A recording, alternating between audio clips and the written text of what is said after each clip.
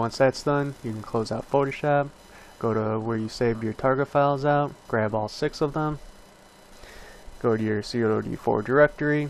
If you never made custom textures or mini-maps or load screens, I actually do have tutorials, look those up. If you're curious on how to make those.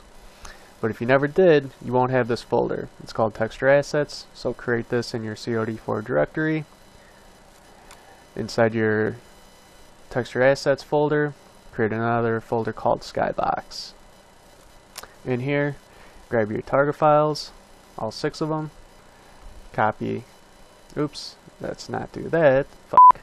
Um, Alright, so let's copy and pasta them into your skybox folder. Voila, there they are, all six. Now let's open up a COD4 Radiant Asset Manager. Before you can import the sky, you're actually going to have to create this file. So go to your COD4 directory, source underscore data. We're actually going to have to create this custom underscore texture.gdt. GDT means game data file. You can name this file whatever you want. Mine's just called custom textures.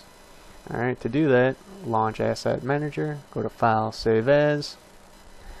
You'll be in your COD4 directory. Scroll down to Source Data and create this file and save it. Since I already have mine created, I'm just going to open it, start a new entry, and import our sky. Alright, make sure this is set to material. Click new entry. Name this whatever you named the files. My files are called, let me make sure, I actually renamed them to evil underscore sky because the reason I did that is I actually have a lot of textures and I want to confuse uh, the sky texture with anything else because it was just called evil. I might have another texture in here called evil. So I renamed mine to evil underscore sky with uh, the code after it, front, back, down, left, right, up. So mine's evil underscore sky. That's what I'm going to put here. Evil underscore sky. From there, uh, material type, let's set this to sky. Uh, sort will be skybox horizon. There we go. Air will be, or surface type will be none. Usage will be sky. Uh, this one will be click on tool.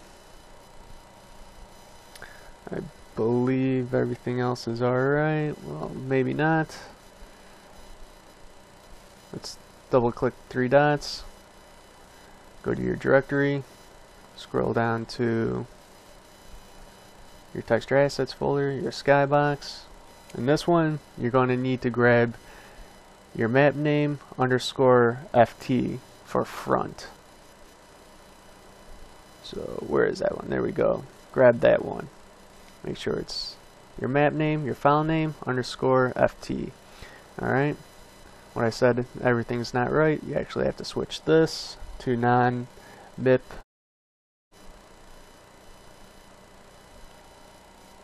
Uh, motto is fine. Check this box. Alright, I believe everything else is good. Let's see, just double check. Yeah. Alright. Let's uh, import this into COD4 by hitting F10 or go up to PC convert.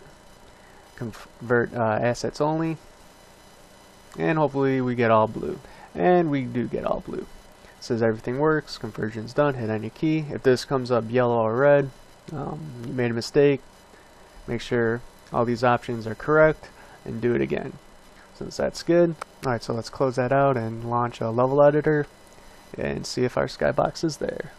Once the level editor is open, I'm assuming you know how to make a map and how to make a skybox. If you don't, I'll show you real quick.